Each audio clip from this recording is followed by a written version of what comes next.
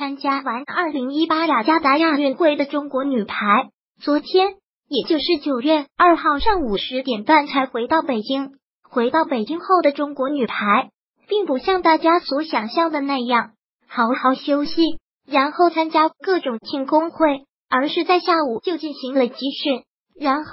分兵两种，一路前驻瑞士。参加将于九月四日开战的国际女排瑞士精英赛，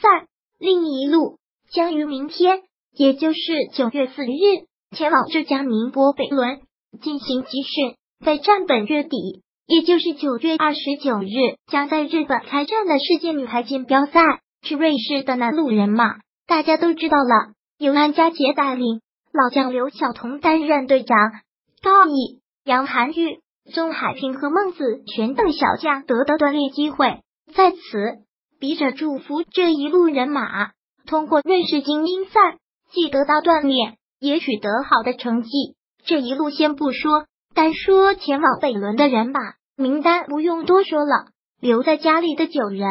将全部前往，而正在江苏女排做康复治疗的张常宁，原本是要参加瑞士精英赛的，由于他的伤情不明了。所以没去，但他也不能闲着，也将参加北仑集训。不过，即使张长宁参加北仑集训，人员也只有十人，主攻三人，副攻二人，接应二人，二传二人，自由人一人，这样分组训练都成问题，怎么办呢？据了解，郎平指导紧急征调了江苏青年队的十八岁小将许路遥。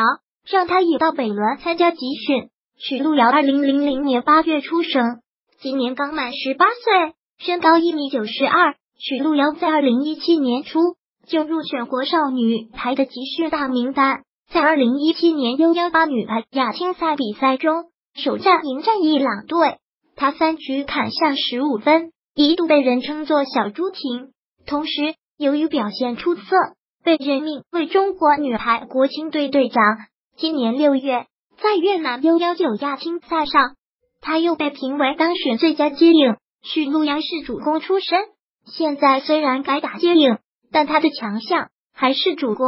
他的技术特点跟中国女排现在的主力张常宁非常相似。如今张常宁伤病不断，又在二十三岁这个年龄早早定下了终身大事，能不能将排球事业持续下去？是个未知数。郎平紧急招入许璐瑶，可能也是未雨绸缪。一方面，十八岁的许路遥